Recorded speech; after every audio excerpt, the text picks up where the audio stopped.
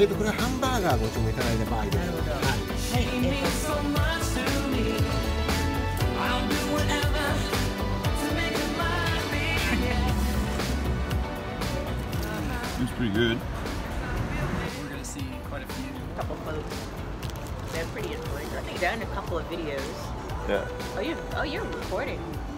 Yeah, I have to record me eating the burger. Felt really good, right? They put salt in it.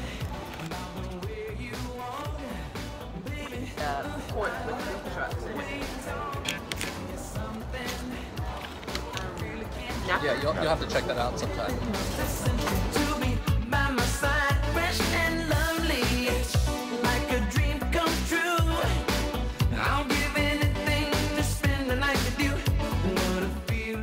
Feeling. I'd buy it.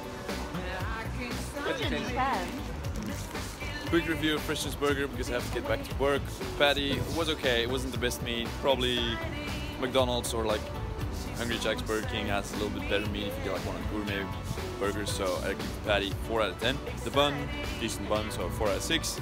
Condiments really good, really fresh avocado. The cheese was nice and melted. The onion was grilled perfectly, lots of flavor in there. Missing some sauces though, so I don't know what happened over there. I to put on the sauce myself. Giving the condiments a 6 out of 8. Value, I paid a thousand yen for a double burger. This was pretty big, so I'm giving that 3 out of 3. And construction, I'm giving that 2 out of 3 because the avocado like causes everything to slip and slide around as well as the two patties on top of each other sliding and I had to put sauce on myself. So makes this burger in total a 3.2 out of 5.